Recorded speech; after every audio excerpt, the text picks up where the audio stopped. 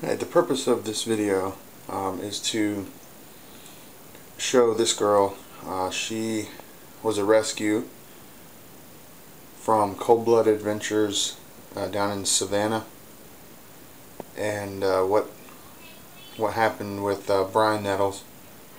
And um, it's very sad.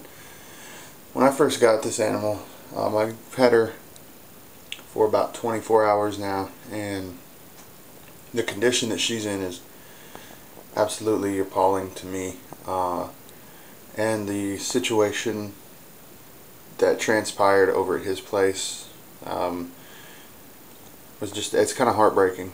But I'll go into that. Uh, this is Pumpkin.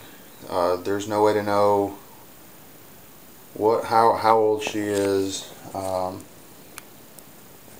no way to know what line or you know locality. We're thinking that she's a, a uh, Central American, but she is grossly underweight. You can kind of see like right in through here. Uh, she's about five feet, five plus feet, and you know it's just it's sad that you could just look at this animal and tell how uncared for she was.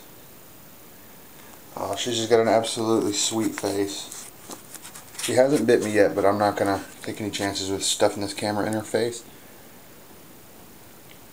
She's been perfectly handled. Uh, of course, I've been cautious, but as always, you have to be when taking an animal that's been abused. Uh, for an animal that, a boa that's this big, and to see the skin hanging off and to feel the ribs and the extra skin it's just squishy in your hand and it's very very sad.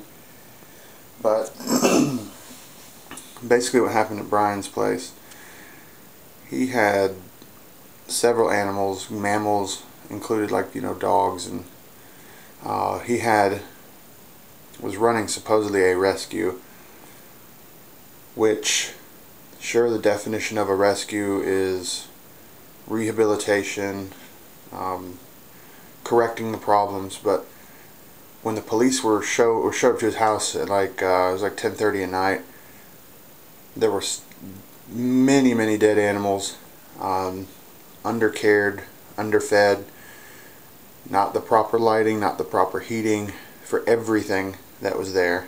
Um, sure, if you're running a rescue, you're going to have badly cared for animals just simply because you're taking them in.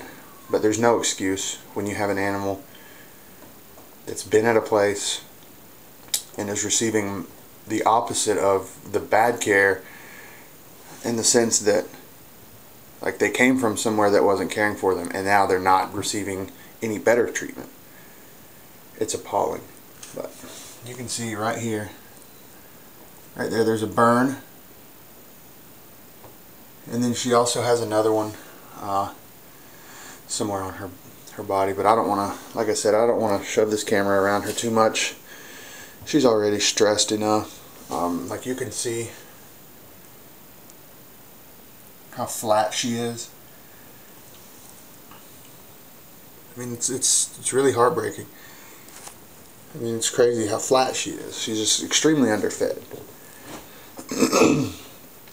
and you know Brian's case was just atrocious with dead dead turtles in the yard, unlicensed American alligators, um, and there's just no excuse for that. And it just gets me mad just talking about it. But I'm glad that this is this is Pumpkin, and she's here now, and she's safe, and she will live a good life, and hopefully I get many many years with her.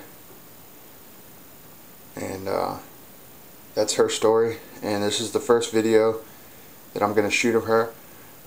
I'm going to do another video period. I mean I'll do I can't say I'm going to do it definitely in six months because two months later I may want to do another one and uh, kind of want to do a side-by-side -side sort of comparison but this is her she's actually either due to shed any day or going into shed her belly's milky and whatnot